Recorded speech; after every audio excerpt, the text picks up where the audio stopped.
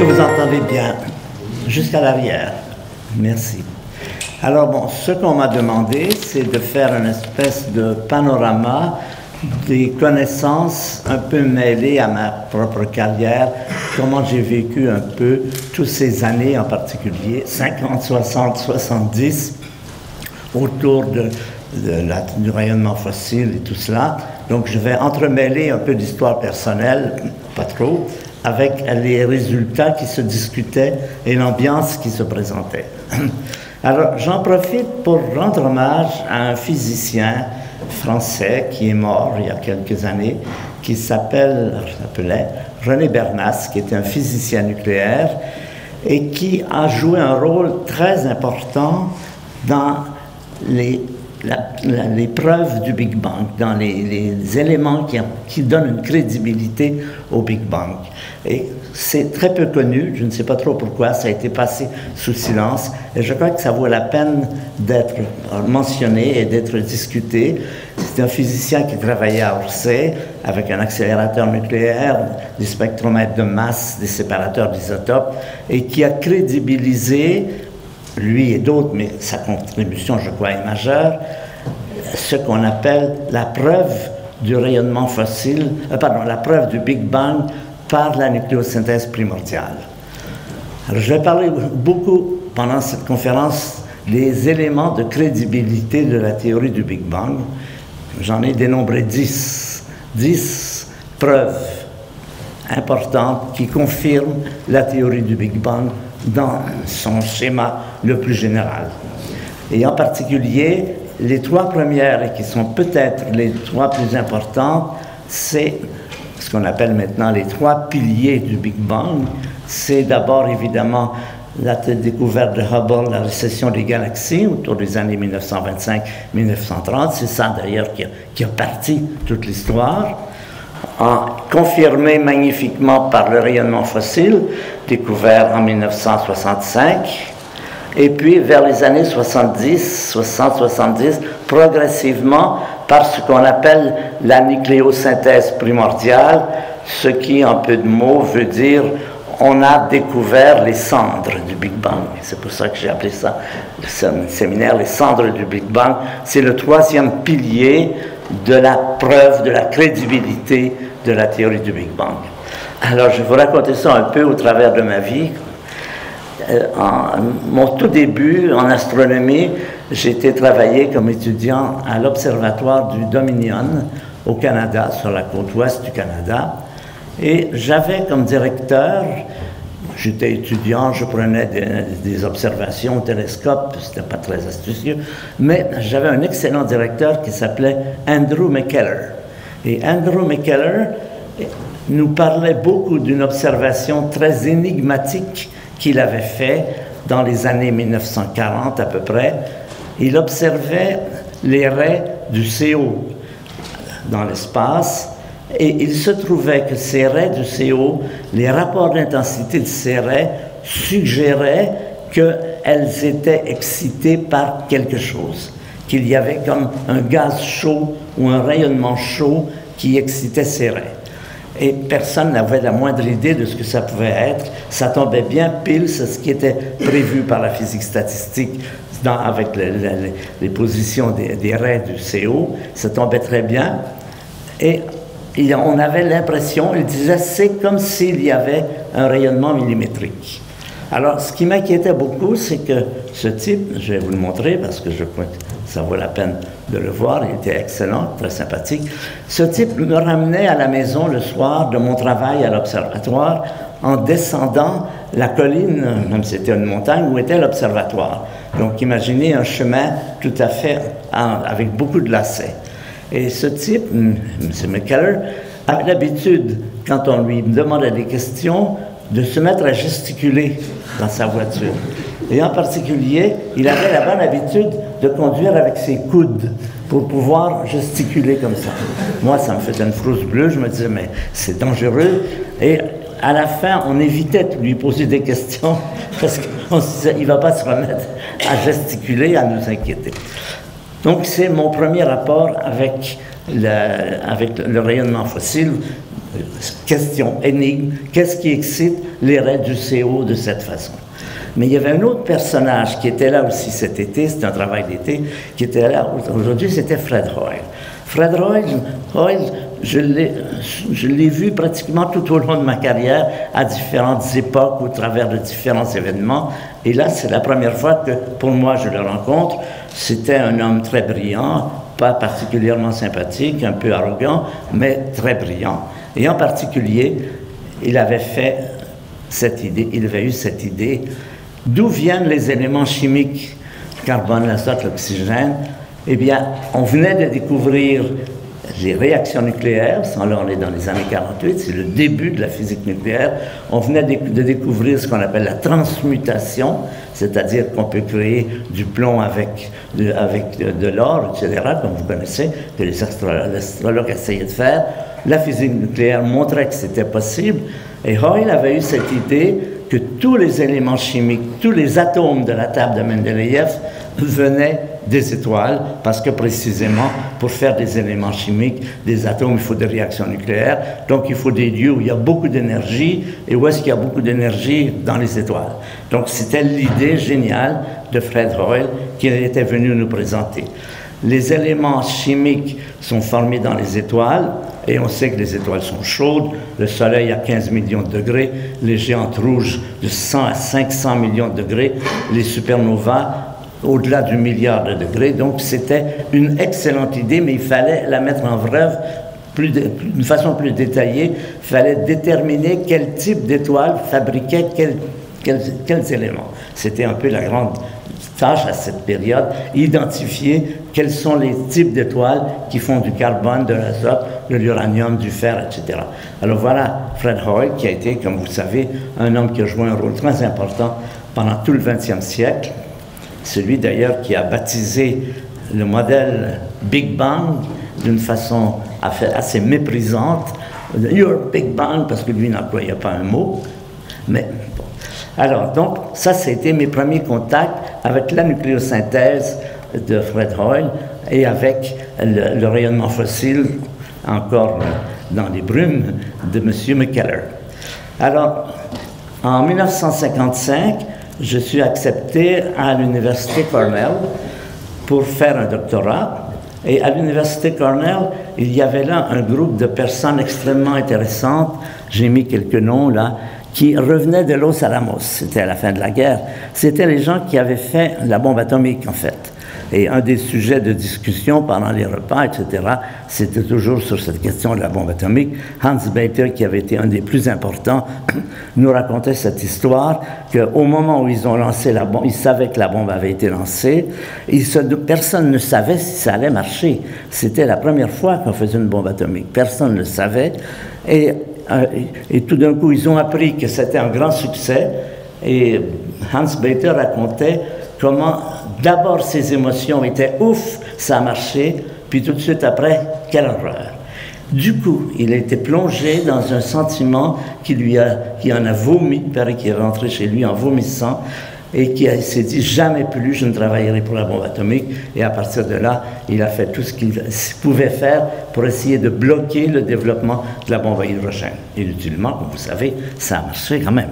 Mais plus toutes les personnes qui étaient là discutaient euh, est-ce que oui est-ce que c'était bien parce que euh, alors ils faisaient une, sorte de petit calcul en disant on sait que le Japon va résister jusqu'à la fin il nous faudra envahir le Japon. Ça prendra, ça fera au moins un million, on évalue à un million de morts du côté américain et beaucoup plus du côté japonais. Donc, il disait, est-ce que ce n'était pas une bonne idée de lancer la bombe atomique puisqu'on a sauvé un million de morts au Japon? Bon, alors vous voyez que c'est un sujet sur lequel on peut discuter pendant longtemps et on ne s'en privait pas puisqu'on allait souvent manger avec les professeurs. Ça c'était très bien à Cornell, on allait manger avec les professeurs et puis évidemment c'était un beau sujet de discussion. Alors voilà donc M. Hans Bethe, et puis il y avait occasionnellement Feynman et Gamov, dont on va parler beaucoup. Bethe venait de faire cette découverte importante. Alors voici Hans Bethe, qui est mort à 100 ans récemment. Hans Bethe est celui qui a découvert que l'énergie des étoiles est une énergie nucléaire. Cette question qui se posait depuis le 19e siècle, quelle est la source d'énergie des étoiles, puisque des étoiles comme le Soleil brillent avec une très grande intensité, et certainement depuis longtemps puisqu'on a des, dinosaures, des, des, animaux qui montrent que la Terre était déjà une planète chaude il y a plusieurs centaines de millions d'années. Maintenant, on dit plusieurs milliards d'années. Donc, il fallait que cette étoile brille depuis longtemps. Donc, si on intégrait la vie du Soleil, la quantité d'énergie qu'il émet par seconde par le temps depuis les dinosaures, ça faisait des sources d'énergie qui étaient tout à fait bien au-delà de ce que la chimie, on ne connaissait que la chimie à cette période, pouvait rendre, et c'était un problème majeur jusqu'à ce que les physiciens nucléaires, Becquerel et Rutherford et autres, découvrent l'énergie nucléaire. Et puis là, on s'aperçoit que c'est tout à fait suffisant comme source d'énergie. Mais il fallait le montrer en détail, pas simplement en principe. Et Hans Bethe, celui qui a fait les premiers calculs, qui a montré comment les, protons s'associaient pour faire de l'hélium, etc. Et c'est celui qui avait résolu ce problème. Et un autre personnage que j'ai eu comme directeur de thèse, qui s'appelle Ed Salpeter. Ed Salpeter, lui, a beaucoup travaillé sur l'abondance du carbone. Alors ça, c'est un beau chapitre aussi de la, nucléosynthèse. Il y a au départ Hoyle qui faisait la remarque suivante. Il a dit, le carbone, c'est un élément très important dans l'univers, c'est un des plus importants. Donc il y en a, les étoiles doivent en fabriquer beaucoup. Mais on s'apercevait, quand on regardait en détail, que c'était vraisemblablement très rare. Donc, Hoyle a dit, il doit y avoir des éléments que nous ignorons. Il doit y avoir quelque chose qui nous manque parce que ça n'a pas de sens de savoir qu'il y a tellement de carbone, que le carbone est fondamental pour la vie, etc., et que la nucléosynthèse telle qu'on la connaissait en produit très très peu.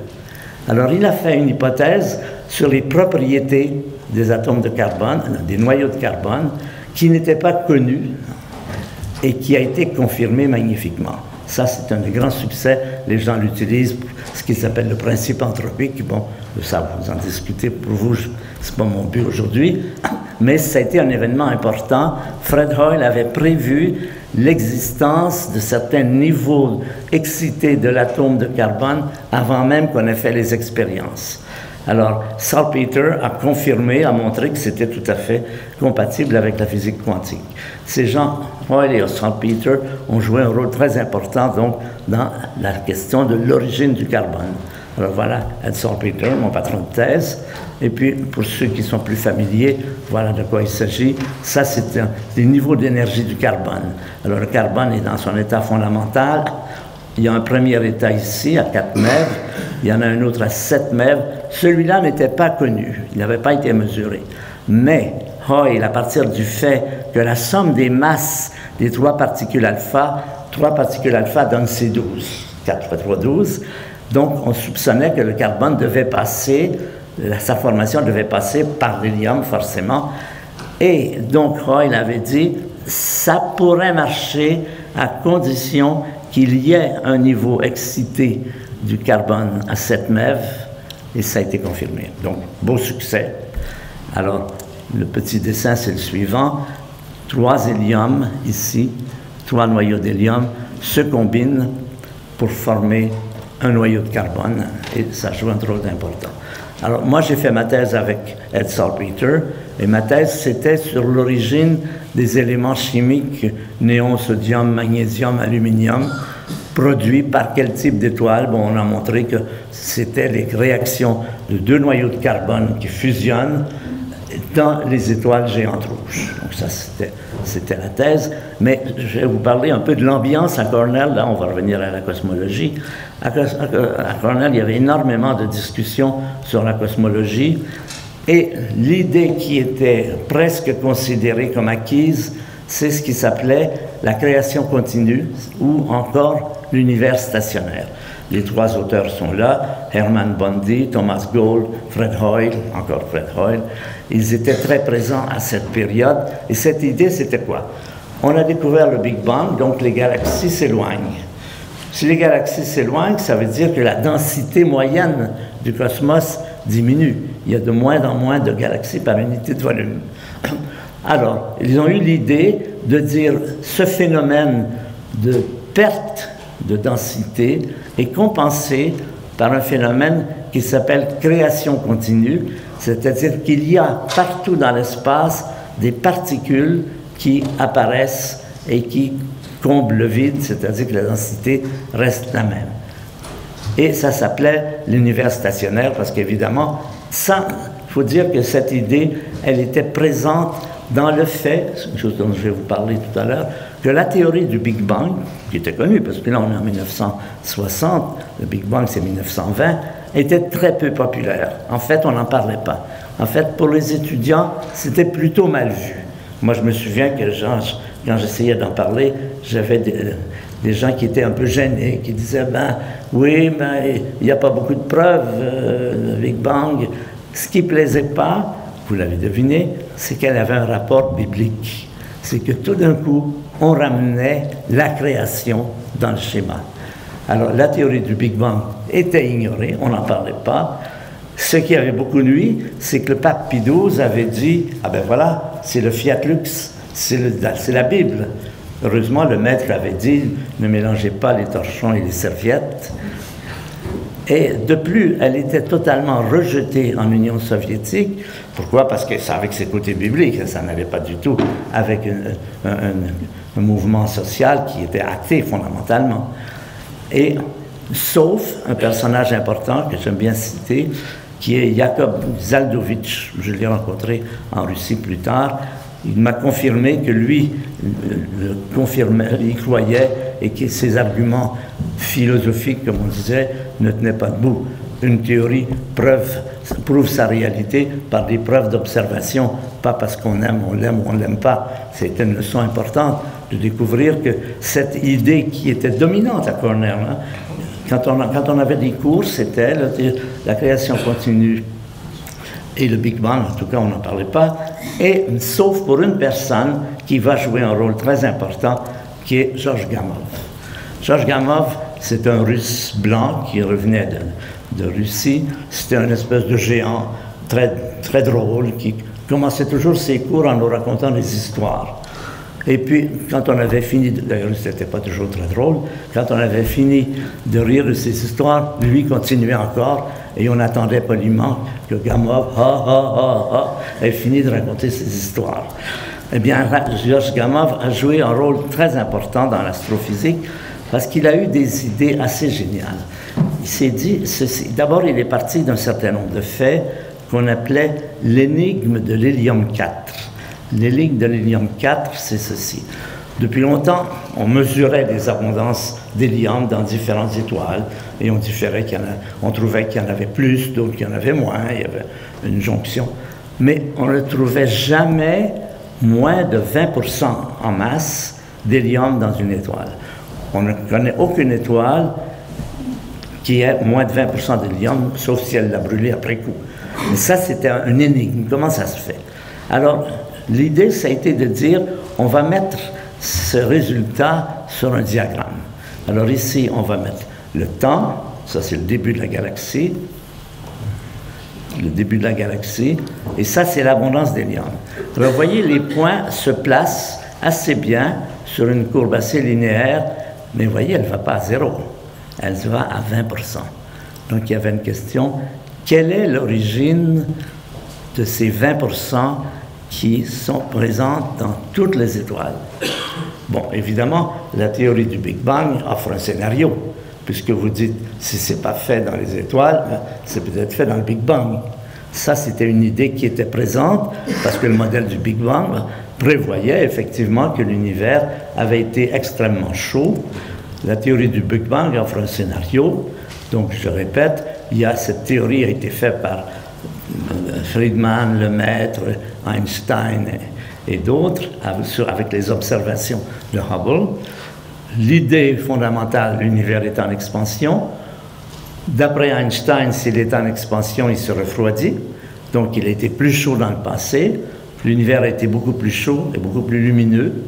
Et à des températures de quelques millions de degrés, la physique nucléaire venait de nous apprendre que l'hydrogène se transforme en hélium. Alors, quand il fait beaucoup plus chaud, il n'y a ni hydrogène ni hélium, ils sont complètement séparés, les particules sont isolées. Quand il fait plus froid, il ne se passe plus rien, bien sûr. Mais il y a une tranche dans le Big Bang qui est le passage entre 1 milliard de degrés jusqu'à 100 millions de degrés, à peu près. Dans cette frange, il y a des réactions nucléaires.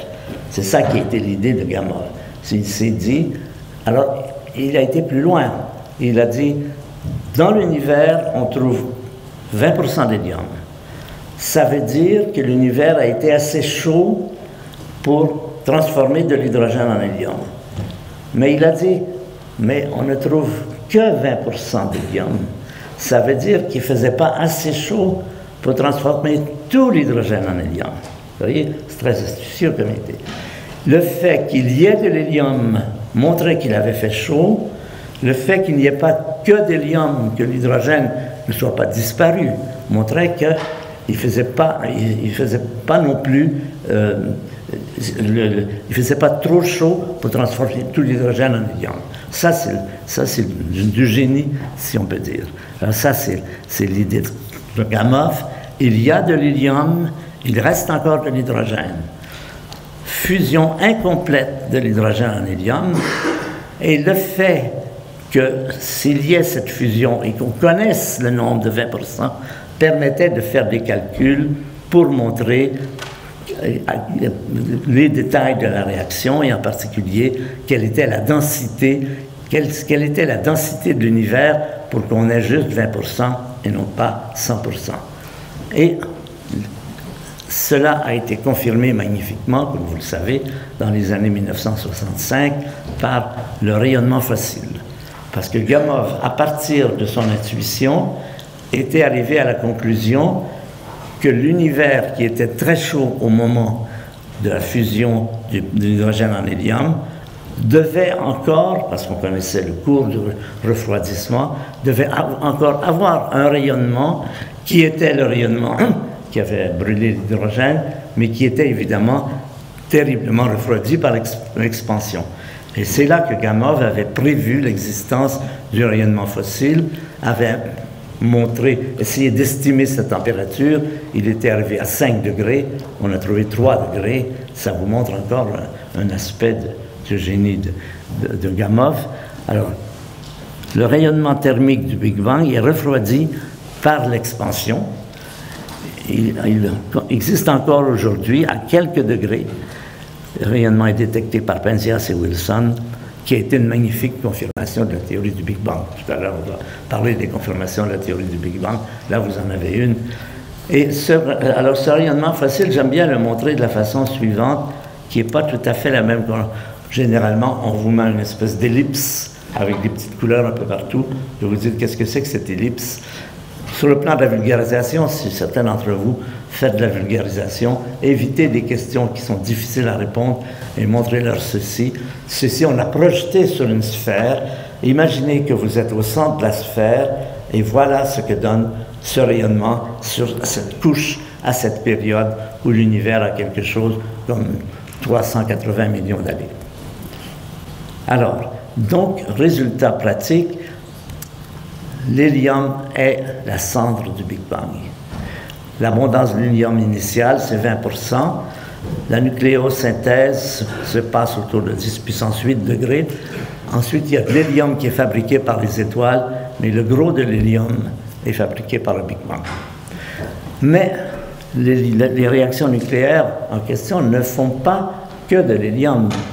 Il y a d'autres éléments chimiques, des atomes, qui sont fabriqués par les réactions nucléaires qui donnent l'hélium, et ça, c'est connu, c'est à peu près ceci.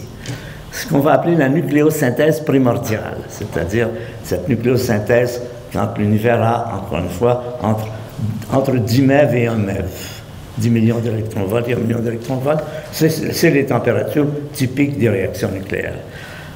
Alors, elle, produit cette réaction, cette fusion, cette phase de nucléosynthèse primordiale, elle produit aussi du deutérium, c'est-à-dire de l'hydrogène lourd, de l'hélium 3, l'hélium léger, et du lithium 7.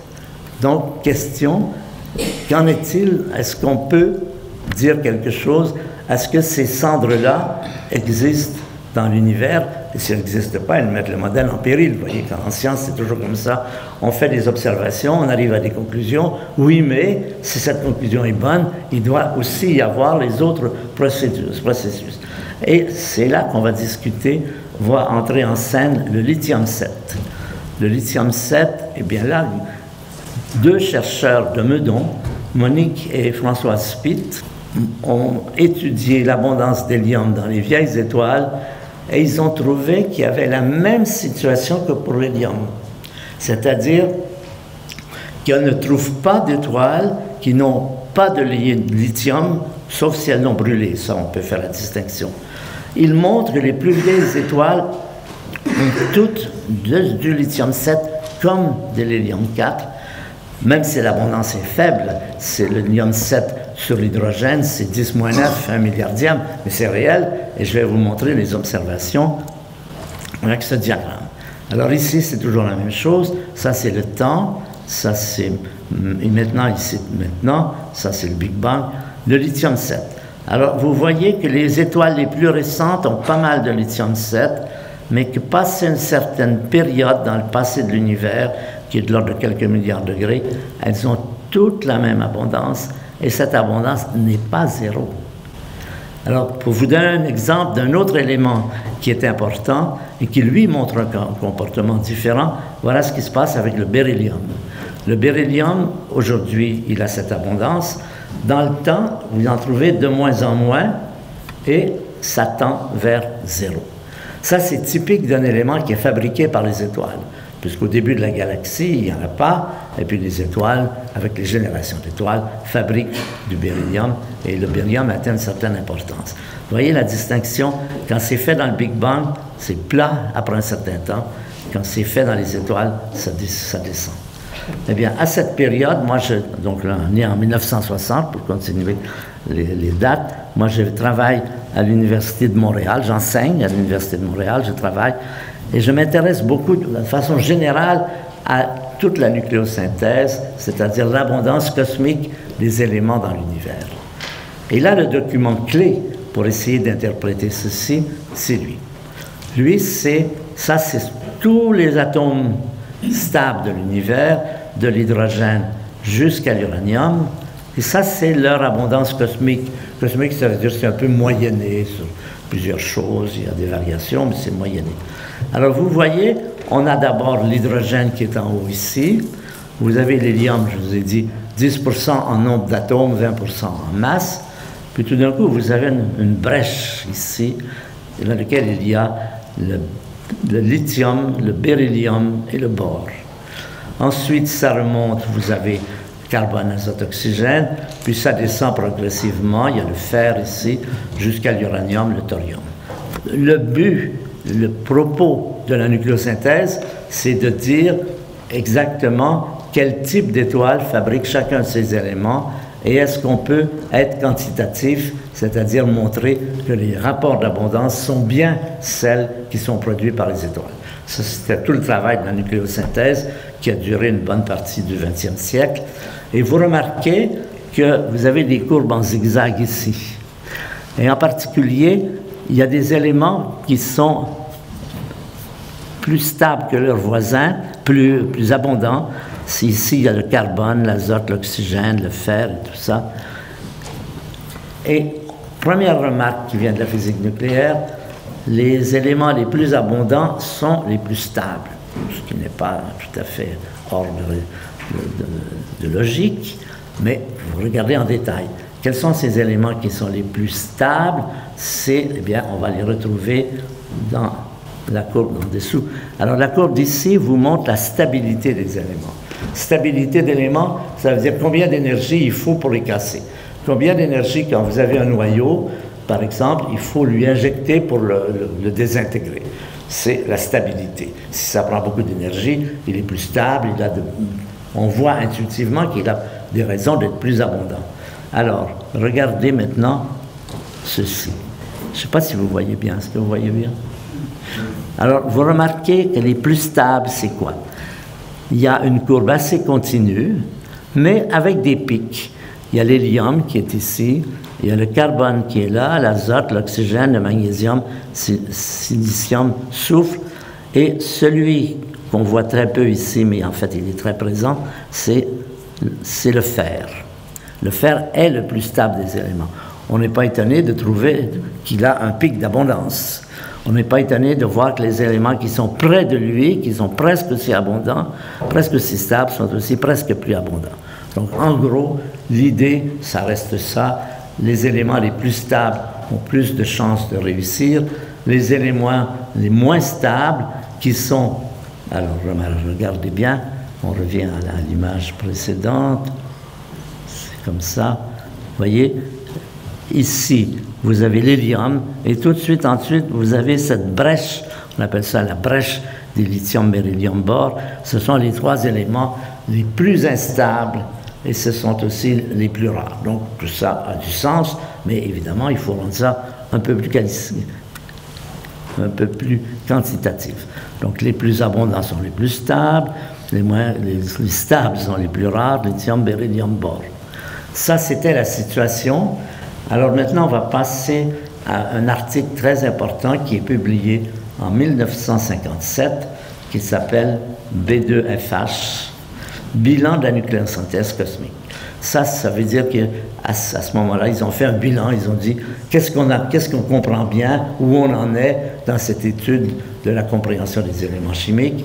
Alors là, il y a deux astronomes, Jeffrey Burbidge et son épouse, William Fowler qui aurait joué un rôle très important, puis toujours Fred Hoyle qui revient parce qu'il est là partout. Et ces gens font un bilan de. Alors je vous présente William Fowler, il est qui a été très important dans tout ça. À cette période, moi, je travaille à l'Institute for, Space Studies, c'est à New York, à la NASA. J'ai passé plusieurs années à travailler là et je travaillais justement ces questions de nucléosynthèse primordiale avec des, des gens qui étaient là. Et Fowler fait en 1962 une conférence qui était célèbre dans laquelle il fait un bilan de la situation. Il montre quoi? Quelle est la situation, est-ce qu'elle est satisfaisante d'essayer de, comprendre l'abondance des éléments en même, et l'origine de ces éléments, dans quel type d'étoiles, géante rouge, séquence principale, nébuleuse planétaire, supernova, etc. Donc ils, font un bilan, et en gros, je dirais que ce bilan, il est très intéressant pour tous les éléments les plus lourds. Carbone, carbone c'est 12, 6 protons, 6 neutrons, jusqu'à l'uranium, qui est 92 protons et le restant en neutrons, ça marche bien. Mais pour tous les éléments qui sont inférieurs à 12, ça ne marche pas du tout. Ça, ça veut dire l'hydrogène, l'hélium, le lithium, le beryllium, le bore. Il manque à l'appel. Voilà tous les éléments qui sont problématiques à cette période qu'on n'arrive pas du tout à comprendre. Et je vous les présente dans un schéma comme celui-ci, dans lequel on met ici le nombre de protons et le nombre de neutrons, donc l'hydrogène, l'hélium, lithium, beryllium, etc. Donc tous ces éléments stables ici, tous ceux-ci, hydrogène, hélium, sont les éléments qui ne sont pas expliqués. Et voilà. Alors, pourquoi pose-t-il problème? Parce que ce sont des éléments, comme je vous ai dit, très instables. Ils se brisent très très facilement. Ils se cassent en particules alpha.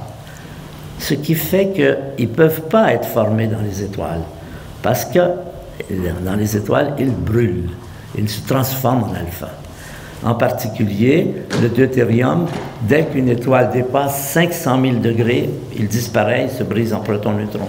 Lithium, beryllium, bore a environ au-delà de 2 à 3 millions de degrés disparaissent. Donc vous voyez, quand vous avez une étoile comme le Soleil, 15 millions de degrés, une géante rouge, 200 millions de degrés, évidemment, ces, éléments n'ont aucune vie, ne peuvent pas être fabriqués. Si, ils peuvent être fabriqués, mais ils sont détruits aussi vite. Et, ce qui veut dire que si on cherche leur origine, maintenant on va chercher l'origine de ces éléments, et on va se servir des, de nos connaissances. Le fait qu'on sache qu'ils sont très peu stables, demandent qu'ils soient créés dans un contexte froid, c'est-à-dire qu'ils ne sont pas brûlés aussitôt. Où est-ce qu'il fait froid dans l'univers? Ben, Vous avez déjà des idées dans le Big Bang. Pardon, où est-ce qu'il fait chaud? Dans le Big Bang, il a fait très très très chaud. Dans les étoiles, il fait chaud. Donc, ça dit tout de suite que ça ne pourrait pas être créé dans les étoiles, puisqu'il serait éliminé. Donc, on va imaginer qu'ils sont créés dans l'espace interstellaire. Là, il fait froid. Alors, comment? Par des réactions nucléaires à haute énergie, et en particulier, il y en a une sorte qui est connue, qui s'appelle des réactions de spallation. Qu'est-ce que c'est qu'une réaction de spallation? Voilà. Là, ici, par exemple, vous avez un noyau de carbone. 6 protons, 6 neutrons. Vous avez un proton rapide qui arrive dessus. Réaction de spallation, il le casse en morceaux. Les morceaux, l'ensemble ici, ça fait 12, plus 1, ça fait 13. Donc il faut répartir les 13 noyaux, les 13 nucléons de ici. Alors un exemple, il y a plusieurs variétés, mais un exemple, on peut en avoir 7 ici, du lithium 7. Bon, il y aura ensuite un neutron, un proton, un hélium, il y aura plusieurs autres choses. Mais parmi tous ces débris de cette collision, on va trouver du lithium. C'est ça une réaction de spallation. Là, vous voyez comment une source possible du lithium. Alors, donc, une réaction de spallation, un proton rapide fracasse un atome de carbone de l'espace interstellaire, les débris de collision sont projetés au loin. Alors, qu'est-ce qui pourrait fabriquer ça? Eh bien, là aussi, on se dit, où est-ce qu'il y a des, particules rapides qui pourraient créer ces, éléments? Ben, Dans le rayonnement galactique, rayonnement cosmique galactique. Rayonnement cosmique galactique, on sait qu'il y a dans l'espace des quantités de particules rapides dans lesquelles on trouve des protons, de l'hélium, on trouve tous les noyaux jusqu'à l'uranium, et on trouve des abondances semblables à celles de la matière cosmique, sauf pour le lithium, beryllium, bore. Vous voyez, on, a des indices comme ça en regardant les tables qui sont. Et voici un exemple. Alors, voici un spectre du rayonnement cosmique. Ça, ça veut dire que ça, c'est l'énergie. Ici, on est autour de, 100 MeV, là, on est autour du GeV. Les rayonnements cosmiques, l'abondance des flux rapides, cette fois, ont des caractéristiques tout à fait remarquables au départ, ce n'est pas étonnant.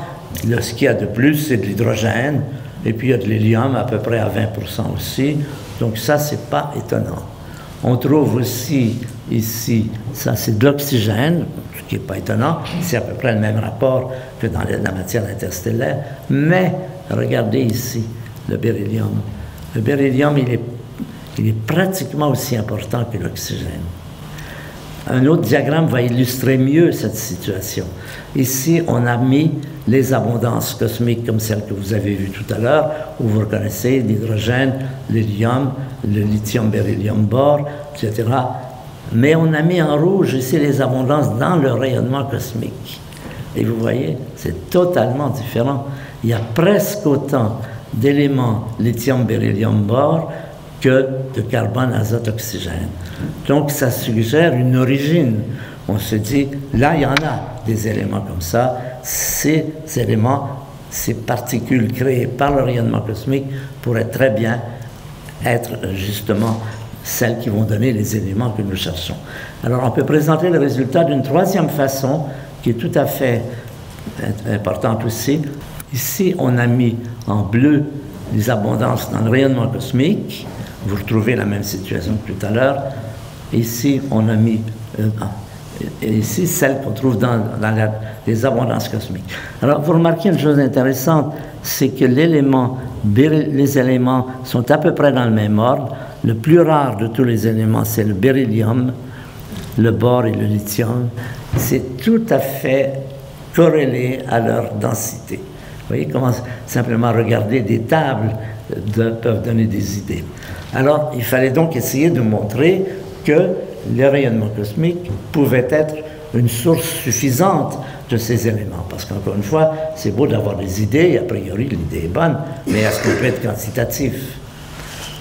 Alors le problème, moi je me souviens, c'était en 1962, j'avais demandé à Willie Fowler, qui avait fait cette, cette, euh, présentation, oui, mais pourquoi est-ce qu'on ne sait pas calculer Parce qu'il m'a dit, parce qu'il y a des problèmes majeurs, des problèmes pratiques c'est que nous n'avons pas de données de physique nucléaire qui nous permettent de dire quelle est la quantité de chacun de ces éléments qui devrait être là. Alors pourquoi? Parce que c'était des expériences qui prendraient au moins dix ans. Il fallait d'abord purifier les sources d'une façon énorme.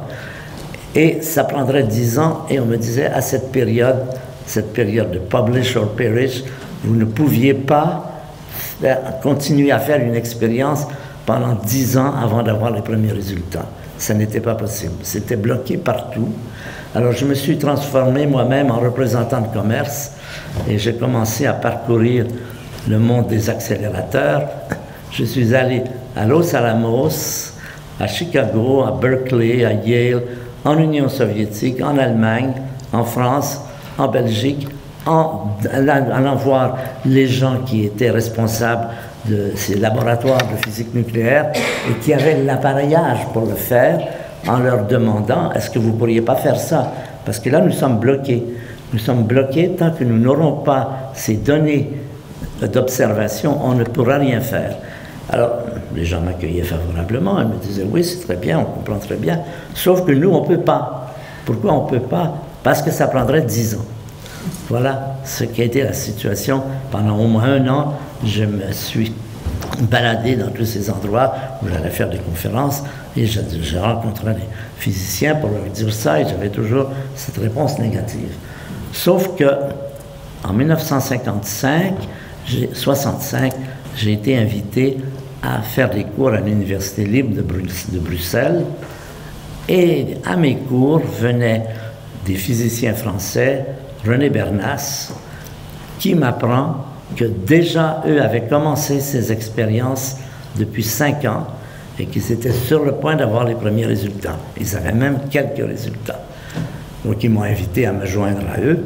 C'est pour ça que je suis en France ici en ce moment. Ça a commencé comme ça. C'est eux qui m'ont invité en disant on va faire ça tous ensemble et on va essayer d'interpréter ces résultats que le laboratoire d'Orsay étaient en mesure de faire, et effectivement, depuis cinq ans, ils avaient déjà des résultats préliminaires.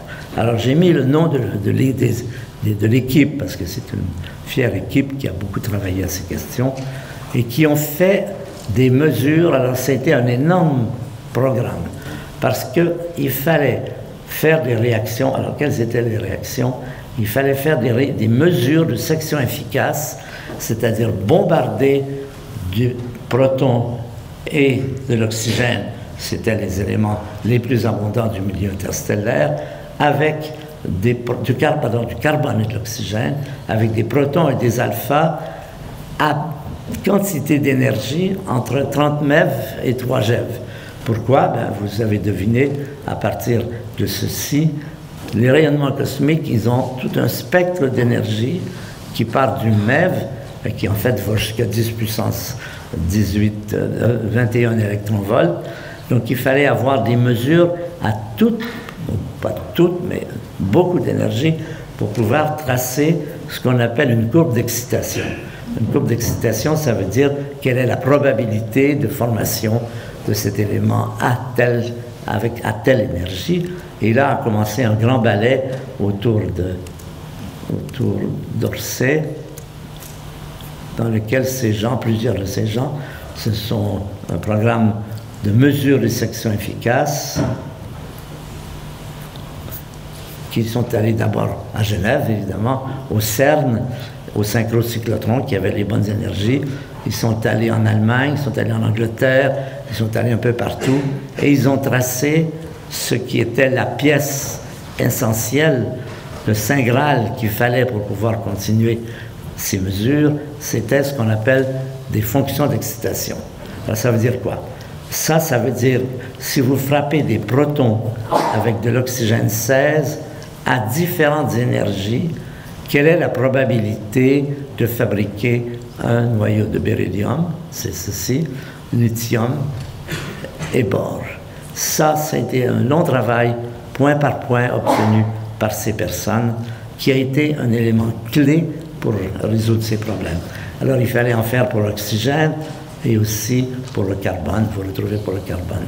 Alors déjà, si vous regardez bien, vous retrouvez les éléments de tout à l'heure. Parce que quels sont les éléments qui ont le moins de chances de fabriquer? Ben, Le beryllium. Alors vous avez vu que le beryllium est le plus rare. Ensuite, vous retrouvez le lithium et le bore. On retrouve, même dans la mesure de ces sections efficaces, exactement ce qu'on cherchait, c'est-à-dire des abondances entre bore, beryllium et lithium qui soient quantitativement celles qui étaient prévues.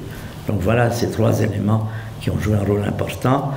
La tournée des accélérateurs, les documents, mesures de succès efficace, les documents. Et alors, un groupe de chercheurs aussi, je aussi leur rendre hommage. Il y a Ivry Schatzman, qui était un de ceux les plus importants dans cela, mais il y avait Jean Douze, Maurice Meneguzzi, Nicolas Planzos, Michel Cassé et Elisabeth Genève.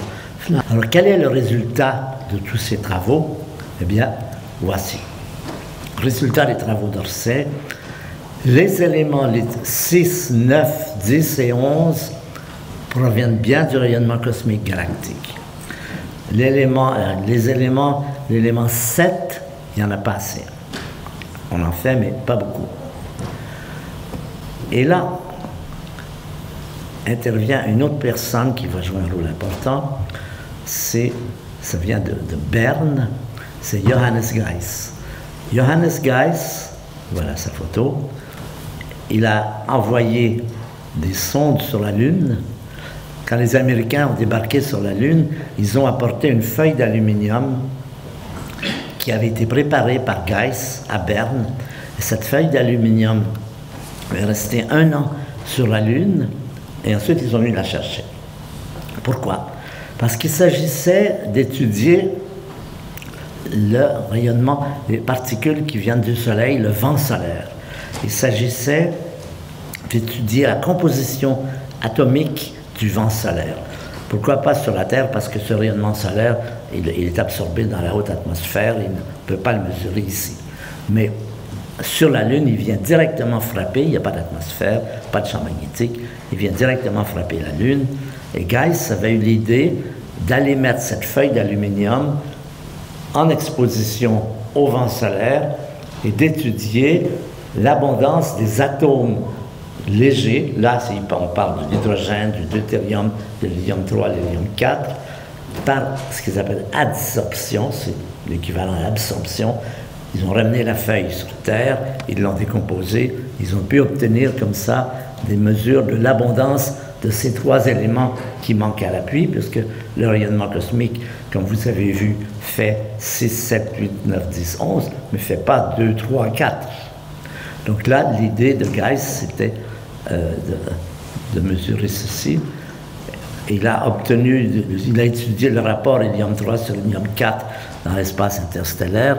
Il a déterminé également, alors je vous donne maintenant le résultat complet de tout ce travail. Rappelez-vous que les éléments de A inférieur à 12 n'étaient pas expliqués dans le, dans le texte de Bernas, mais alors ici j'ai mis les sources. Le deutérium, c'est le 2, BB, c'est le Big Bang. L'hélium 3, c'est le Big Bang et vraisemblablement une composante stellaire, mais pas très bien connue. L'hélium 4, c'est le Big Bang et aussi les étoiles, on l'a vu. Le lithium 6, c'est un pur produit du rayonnement cosmique. Le lithium 7, il y a un produit du rayonnement cosmique, une, partie du Big Bang, et ça, c'est pas. Il y a un petit problème là que je ne vais pas traiter. Le beryllium est fabriqué dans le rayonnement cosmique, le beryllium 9, le bore 10 aussi, le bore 11, une partie vient de, des étoiles. Alors maintenant, je vais vous donner en résumé les 10 preuves ces éléments de, crédibilité de la théorie du Big Bang et je vais les numéroter progressivement. Alors, Le fossile numéro 1. Fossile numéro 1, c'est la récession des galaxies.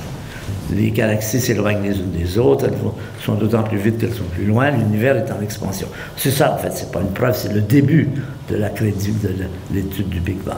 C'est-à-dire cette image dans laquelle toutes les galaxies s'éloignent de nous et s'éloignent d'autant plus vite qu'elles sont plus loin. Le deuxième élément, c'est au sujet de l'âge de l'univers. Comment est-ce qu'on peut mesurer l'âge de l'univers? Ben, On peut par exemple essayer par des calculs numériques de reculer, de tourner le film à l'envers et de voir combien de temps ça met pour que tout le monde soit les uns sur les autres. Mais il y a une autre façon qui consiste à dire l'univers ne peut pas être plus vieux que ses plus vieux habitants. Et quels sont les plus vieux habitants de l'univers? Bien, d'abord, les étoiles. Les étoiles, aujourd'hui, nous sommes en mesure de les dater. Nous savons que le Soleil a 5 milliards d'années, les amas globulaires ont 13 milliards d'années, que les, les, Pléiades ont 80 millions d'années.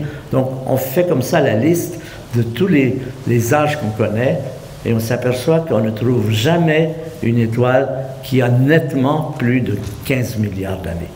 On n'a jamais trouvé une étoile qui aurait 200 milliards d'années, par exemple. Si on a trouvé une, ça irait très mal pour le modèle du Big Bang. Mais on n'en a jamais trouvé. Beaucoup d'épreuves sont comme ça, des preuves en négatif. Si on trouvait ceci, ça éliminerait le tout. Or, on ne connaît aucune étoile qui a plus de 15 milliards d'années. Ça, c'est pour les... Mais on peut aussi, il y a aussi d'autres habitants de l'univers qu'on peut dater. Ce sont les atomes radioactifs. Les atomes radioactifs, comme l'uranium et le thorium, ils ont une petite horloge interne et on peut, à partir de la comparaison entre différents éléments, trouver quel est l'âge des plus vieux atomes radioactifs. Ben, on trouve aussi autour de moins de 20 milliards d'années, par exemple. Disons, parce que les incertitudes sont un peu plus grandes, mais ça, c'est une bonne limite à l'âge de l'univers. Donc, à partir de là, il y a cette concordance des âges. Ces trois âges sont obtenus par des moyens totalement différents. Les âges radioactifs sont obtenus avec des accélérateurs, les âges des vieilles étoiles avec des télescopes, l'expansion également des télescopes n'est pas les mêmes. Vous avez trois mesures obtenues par trois techniques totalement différentes qui vous donnent des choses qui sont grosso modo bien corrélées. Donc, c'est une preuve, je pense, de la validité. Si on avait trouvé des âges totalement différents, ça n'aurait pas marché. On aurait pu, on n'a pas trouvé ça. Donc ça, c'est fossile numéro 2. Alors maintenant, on va suivre, on va faire un petit parcours de l'univers sur un petit diagramme qui va nous aider.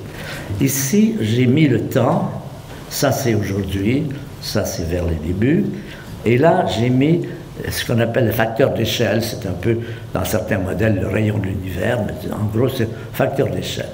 Alors, ce, ce, que nous a appris le rayonnement fossile, c'est qu'aujourd'hui, la température, c'est la température, oui, la température, 3 degrés, 2 degrés, 7, 3, 8. Mais la théorie nous la théorie d'Einstein nous dit que c'est une courbe montante. C'est-à-dire que l'expansion, si vous retournez dans le passé, il fait de plus en plus chaud. C'est ça que ça dit. Et si vous prenez le rayon d'échelle de l'univers, ce rayon d'échelle croît avec le temps, avec l'expansion. Donc, on va essayer de suivre ces deux courbes. En particulier, le troisième, troisième fossile va être obtenu ici à partir de ceci. La température de l'espace telle que donnée par le modèle du Big Bang. Comme l'espace, comme l'univers est en refroidissement, si on va dans le passé, on doit trouver des températures plus élevées. Alors, vous voyez, ça se, pose, ça se prépare un texte. Si on trouvait des températures en dessous de cette courbe, ce serait contraire au thermomodèle. Ça voudrait dire qu'il y a des, des, moments où il faisait plus froid que ce que prévoit le modèle. Donc ça, ça doit devenir un fossile.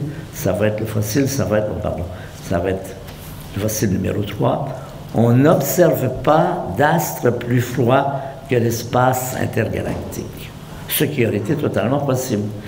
Et voilà. Alors vous retrouvez la même courbe que tout à l'heure. Là, vous avez la courbe théorique qui est ici. Là, vous avez tous les points qui sont ici. Là, c'est les incertitudes. On n'a aucun point qui soit en dessous de cette courbe. Bon, ça colle. Ça marche. Alors, le quatrième, c'est évidemment le rayonnement fossile prévu par Gamow d'après le modèle. C'était détecté par Penzias et Wilson, détecté en 65, émis il y a 13,7 milliards d'années, quand l'univers avait 380 000 ans. Et ce qui est la preuve la plus extraordinaire, c'est la distribution des intensités lumineuses. Ça, ici, c'est la fréquence du spectre du rayonnement fossile, c'est dans le millimétrique, ça c'est les petites, et ça c'est les grandes longueurs d'onde. Les points, c'est l'intensité. La, courbe solide, c'est la courbe théorique. La courbe et les points, c'est les observations. C'est une des mesures les plus étonnantes qui a jamais été faite. Ça colle à mieux de 1, demi de 1%.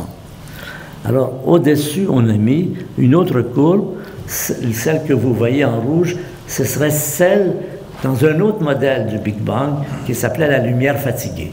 La lumière fatiguée disait la raison pour laquelle il y a ce décalage vers le rouge, c'est que la lumière, avec la distance, perd de l'énergie. C'est un modèle qui avait été développé ici, en particulier par Jean-Claude Péquer et beaucoup d'autres personnes.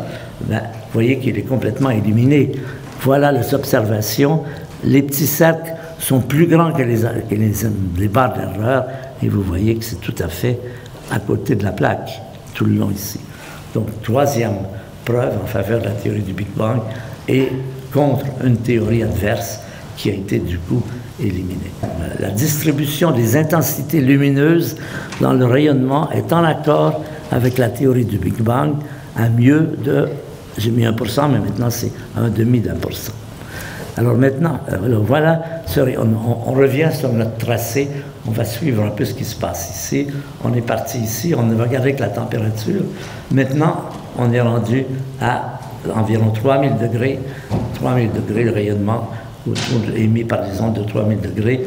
Ici, on a un phénomène important, c'est que avant ça, on a de, a de l'hydrogène atomique, on n'a que des protons et des électrons, et ici, il y a recombinaison, première fois qu'il y a de l'hydrogène. Nouveau fossile, fossile numéro 5. Les plus vieilles étoiles, ça on l'a vu, contiennent de l'hélium et du lithium, tel que prévu par le mode, par le rayonnement cosmique. Et les études plus détaillées qui ont été faites en particulier par Geiss et d'autres personnes sur les autres éléments montrent que ça colle aussi pour le deutérium, pour l'hélium pas très bien, pour le lithium aussi un petit problème, mais en gros ça colle. Donc ça aussi c'est une preuve. On a les centres du, les cendres du Big Bang et précisément dans la forme, dans les abondances qu'on connaît. Alors un autre fossile, c'est autour de la composition de la soupe atomique prégalactique. On a vu qu'il y avait les hydrogènes, les héliums et le, lithium. Question, est-ce qu'il y a des éléments qui seraient présents là et qui ne sont pas prévus par la théorie du Big Bang?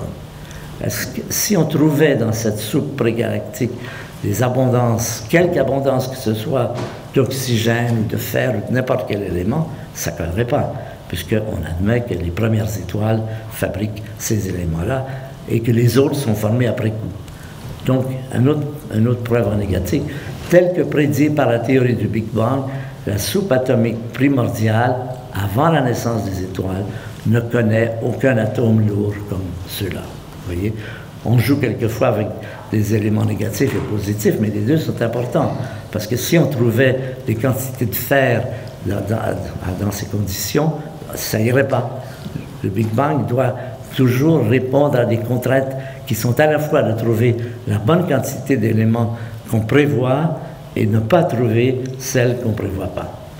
Donc ça, c'est facile numéro 5. Maintenant, ça, je vais le passer. Un autre facile qui est le suivant, ça c'était le 6, oui. Un autre facile, c'est le nombre de familles de particules élémentaires dans l'univers. Nous savons que dans l'univers, les particules élémentaires, électrons, protons, euh, euh, pardon, euh, neutrinos, quarks, appartiennent à trois familles. Il y a une famille électronique, où il y a les électrons, les neutrinos et les quarks U et D. Il y a une autre famille qui s'appelle la famille muonique, dans lequel, au lieu d'électrons, c'est le muon, et avec des quarks aussi. il y a une famille qui s'appelle la famille tauique, qui là aussi, c'est d'abord quelque chose qui ressemble à un électron lourd. Il y a une grande analogie entre ces trois familles. Il y a toujours une particule lourde, électron, muon, tauron, un neutrino équivalent, approprié, puis ensuite des quarks appropriés. Mais la question qui se pose, c'est, il y en a trois. C'est-à-dire, on en a observé trois. Pourquoi trois? Eh bien, est-ce que la théorie peut donner une réponse à cette question? La théorie du Big Bang répond à cette question. Les réponses étaient déjà présentes dans les années 1970 pour expliquer correctement les populations des noyaux cendres du Big Bang, des TH3. La théorie du Big Bang prévoit qu'il y a trois familles et pas plus. C'est-à-dire que les calculs ne collent pas si vous en mettez deux, ils ne collent pas si vous en mettez quatre. C'est une façon de, de sélectionner. Ça, c'était la situation dans les années 1970. En 1982, au CERN, une expérience est faite, et cette expérience porte sur justement cette question combien de familles de particules élémentaires y a-t-il? On peut le déterminer, vous l'avez deviné, on a trouvé trois. Et je vais même vous montrer le diagramme c'est à partir de la masse d'une particule instable, la particule Z, qui est la particule qui transporte les électrons, les, interactions électrofaibles. Alors, vous voyez, la courbe ici, vous avez trois courbes. Une courbe en pointillé, une courbe pleine, une courbe en pointillé. La courbe en pointillé, elle correspond au cas où il y aurait quatre familles. La courbe pleine, où il y aurait trois familles l'autre pointillé, il y aurait deux familles. Et vous voyez, et les, points ronds ici, ce sont les mesures. Ce sont les, mesures telles qu'elles sont données par l'ajustement. Ça, c'est la masse de la particule Z, c'est la largeur de masse de la particule Z. C'est un résultat obtenu au CERN à Genève qui colle pile, qui vous donne 3. Alors voilà un autre fossile. Alors maintenant, on a donc trois fossiles, 5, 6 et 7. Et ces fossiles, pour les expliquer, on est amené à faire les hypothèses suivantes. Pour expliquer ces fossiles, il suffit d'affirmer que le cosmos a été porté dans le passé à au moins 10 puissance 10 degrés, un F, qui a de réaction nucléaire. Ça ne dit pas que ça n'a pas été, ça, ça dit que ça a été au moins ça. Et ça, c'est tout à fait en accord, évidemment, avec la théorie du Big Bang, puisqu'elle vous permet de remonter, en principe, aussi loin que vous voulez, à des hautes températures. Et ça, vers une température d'une seconde. Alors maintenant, on va continuer nos, nos, cartes ici. On continue à monter. Là, on avait dit l'univers a été au moins à 3000 degrés pour expliquer le rayonnement fossile. Il a été au moins à 10 puissance 8 degrés pour expliquer ces trois, ces trois éléments que nous, que nous venons de rencontrer. Alors, on continue et nous allons encore avoir d'autres fossiles. Voici le fossile numéro 8. Le fossile numéro 8, c'est l'absence d'antimatière dans l'univers. Pourquoi est-ce que c'est un problème qu'il y ait, qu'on ne trouve pas d'antimatière alors qu'on trouve beaucoup de matière et que l'antimatière, quand on en fabrique, c'est nous qui les fabriquons euh, dans les accélérateurs ou bien dans le rayonnement cosmique, mais la fraction d'antimatière est extrêmement faible dans l'univers. Pourquoi? Parce que la théorie du Big Bang prévoit qu'il y en ait autant. Ça, c'est un problème avec la théorie. La théorie prévoit qu'au tout premier temps de l'univers, on crée autant de matière que d'antimatière numériquement. C'est une, relation qui est totalement protégée. Chaque fois que vous faites un atome de particule de matière, vous faites aussi une particule d'antimatière, électron, électron positif, électron négatif, neutrino, antineutrino, etc. Et le Big Bang, nous sommes maintenant ici, et on se dit, mais où est passée l'antimatière? Alors là, la physique a trouvé des réponses à cette question. Cette, cette réponse fait à peu près ceci. Matière et antimatière qu'on pensait tout à fait parallèles, identiques. Les expériences montrent que ça n'est pas vrai. elles n'interagissent pas exactement de la même, matière, de la même manière. Il y a une différence dans la façon dont l'antimatière interagit avec la matière et, et l'inverse. Et c'est cela qui est à l'origine, on n'a pas de détails plus précis, mais c'est l'idée qui est admise aujourd'hui, c'est relié à, cette différence. Les particules sont exactement les mêmes que les antiparticules, mais leur façon d'interagir n'est pas tout à fait la même. Ça, c'est donc un, autre élément qui est inclus aujourd'hui dans, dans, le, dans, le, Big Bang et qui dit il n'y a pas d'antimatière, justement parce que nous avons cette. Alors, maintenant, on va aller vers un autre, un autre fossile. Un autre fossile les charges électriques du proton et de l'électron sont numériquement égales. Le signe contraire, évidemment, mais sont numériquement égales.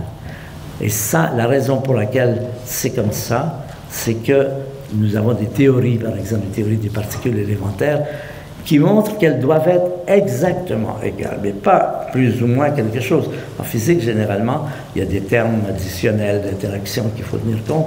Là, il n'y en a pas. C'est protégé par la théorie des groupes. La théorie des groupes, c'est la théorie qui explique les particules de la physique élémentaire très bien.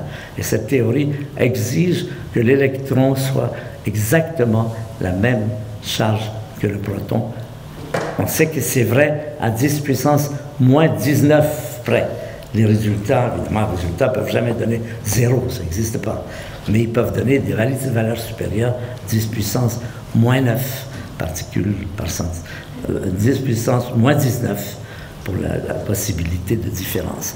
Ça, c'est un autre fossile qu'il faut essayer d'expliquer. Un autre fossile qu'il faut expliquer, c'est, bon, en science, quand vous avez un chiffre, c'est une question on observe aujourd'hui, ces théories de la cosmologie montrent, on, s'intéresse aux populations des particules. On s'aperçoit que le rapport du nombre de photons dans l'univers, c'est surtout des photons fossiles, mais tous les autres aussi, et sur le nombre d'électrons est de l'ordre de, de, précisément 3 milliards. Pourquoi 3 milliards? Et ça, c'est des questions qui se posent, auxquelles on va trouver des réponses. Alors, l'explication des fossiles 8, 9 et 10 sont, ici présentées en termes de ce qu'on appelle l'unification des forces. C'est-à-dire que les différentes forces de la nature, qui sont très différentes, électromagnétiques, électrofaibles, nucléaires, ces forces qui sont différentes aujourd'hui étaient les mêmes dans le passé.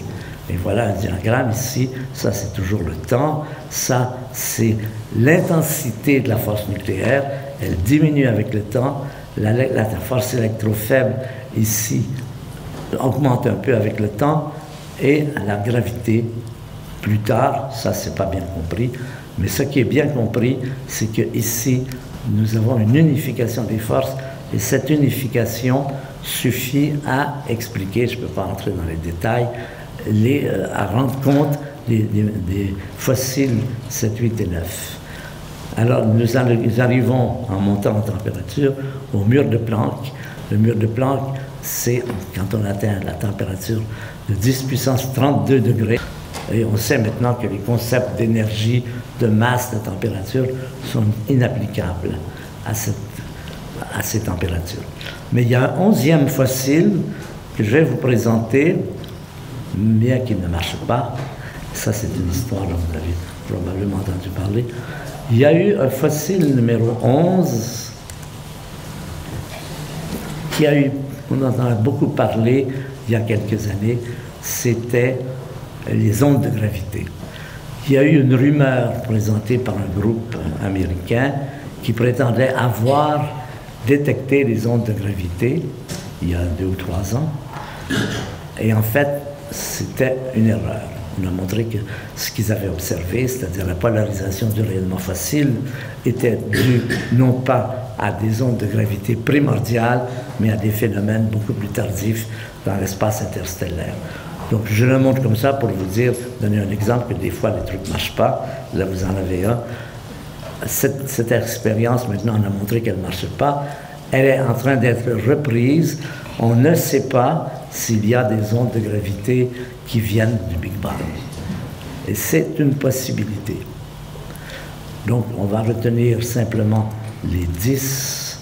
Résumé, nous avons maintenant 10 bonnes preuves de la crédibilité du Big Bang.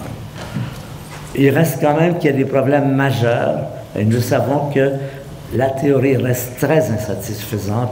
Il y a beaucoup d'éléments qui suggèrent que quand nous aurons une revision du rayonnement fossile, les choses pourraient être très différentes. Donc il faut toujours se préparer en science à ces choses-là. Ce que je vous ai montré, c'est ce qui colle. Ce qui colle pas, c'est quoi? La théorie du Big Bang ne dit rien sur la matière sombre, ni sur l'énergie sombre en particulier. La, théorie du rayonnement fossile ne dit rien sur la constante cosmologique, sur la courbure de l'espace. Le gros problème fondamental, c'est évidemment la réconciliation entre la théorie de la gravité d'Einstein et la, la, physique quantique. Nous savons que ces deux théories, dans certains domaines, en particulier au sujet du Big Bang et des trous noirs, donnent des résultats différents. Et ça, c'est pas possible. La, la, nature est une, elle a un comportement. Donc, comment expliquer, comment réconcilier la théorie quantique et la théorie de la gravité? C'est un problème qui existe depuis 1930. Dirac l'avait résolu dans le cas où on ne considérait pas une courbure de l'espace. Les équations de Dirac, c'est ça. Mais à, partir de là, quand on veut y intégrer la, courbure de l'espace, c'est-à-dire la relativité générale, ça ne marchait pas. Et ça, ça reste le problème majeur de la physique aujourd'hui, dont personne ne sait si un jour on le résoudra. Peut-être que oui. C'est demander s'il y a des jeunes astrophysiciens dans la salle, s'ils ont l'impression qu'on sait tout, il faut bien que vous sachiez qu'il reste des problèmes majeurs. La masse sombre, l'énergie sombre, la constante cosmologique, euh, et puis la, réconciliation entre la physique quantique et la relativité. Voilà. Merci à vous tous.